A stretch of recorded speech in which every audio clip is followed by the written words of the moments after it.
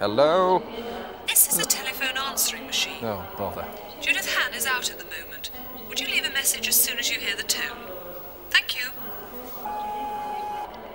Judith, it's me. Um, no, it isn't. Forget it. You've got to be in the mood to get that sort of thing right. Judith, it's me. Ah, no, it isn't. Um, forget it. Yes, most of us find them exasperating. But for anyone who's away from base a lot, telephone answering machines can be invaluable. And if they were cheaper and a bit more convenient to use, more people would decide to have them in their own homes. You'll notice that because Michael hung up so quickly, I've got to play through yards of tape to get to the next message. Hello, Judith. Just to confirm, we are, after all, filming in Norwich on Tuesday. Bye. Bye. The more expensive machines use two tape mechanisms. One is to carry my message, this is a telephone answering machine, etc. And the second tape records whoever's phoning in. Although this class of machine will cost you around £130 or even more. A cheaper method is to use just one tape like this. You record your bit, Judith Hann will be back in half an hour or whatever you want to say, at 30 second intervals all along the track. And then the incoming calls slot in to the 30 second pauses on the same track. But it's obviously extremely tedious when you have to record the same message 50 or 60 times.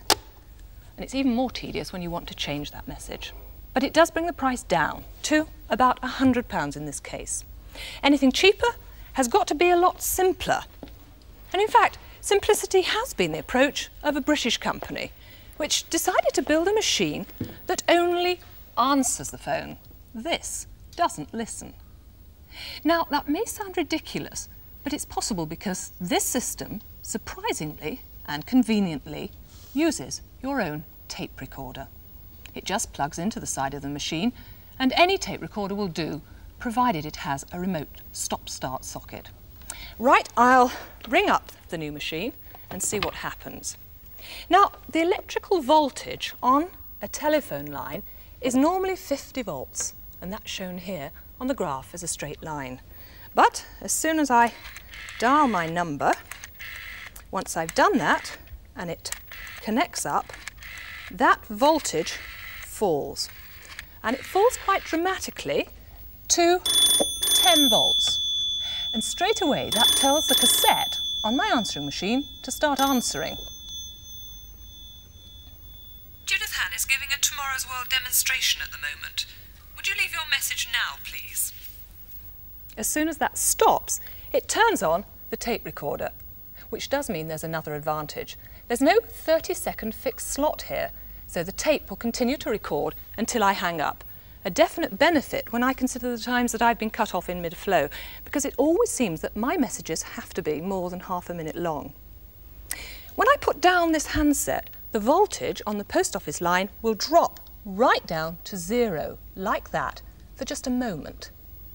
Then, solid state logic in the new machine detects that zero and switches off my recorder. Watch.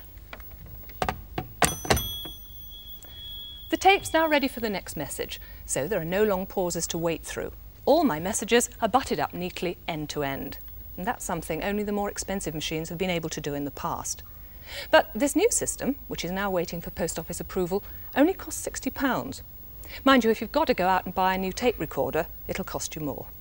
But with a miniature one like this, there is another advantage.